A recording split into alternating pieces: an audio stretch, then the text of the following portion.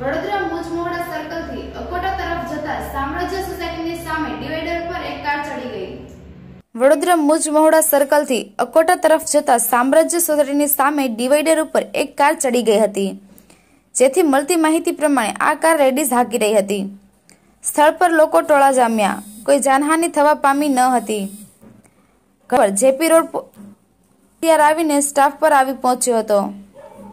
reporter Nazeer Sheikh Vadodara